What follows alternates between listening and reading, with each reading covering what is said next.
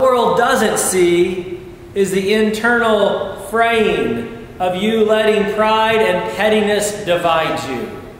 You can't be both petty and faithful at the same time. You will love one and hate the other. Running a thread of pettiness through a blanket of sheer beauty will fray not only the quilt's design, but it will shred the quilter's joy. And we are always the quilter.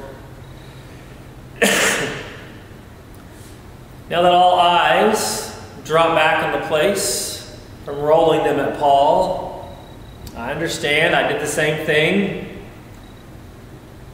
Let's take the Bible seriously, even might I suggest literally, and suggest maybe Paul's on to something by reframing what's big and what's little in the Bible.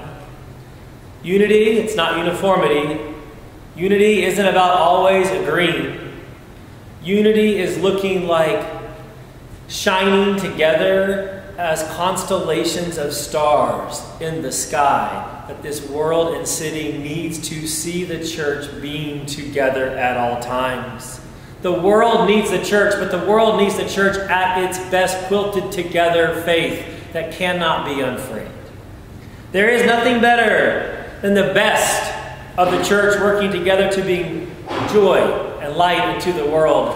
And friends, there's almost nothing worse than the worst of the church in the world. Be the best of it, never the worst.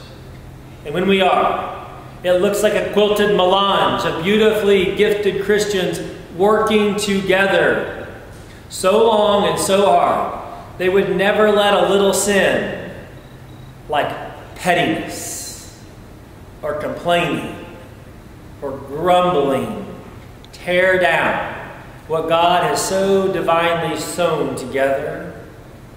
I'm going to do better at this because my Bible says I don't have a choice. You should join me. And when we do, our joy will be even more complete. And there will be more joy in our faith and in our churches together. In the name of Christ we say, Amen.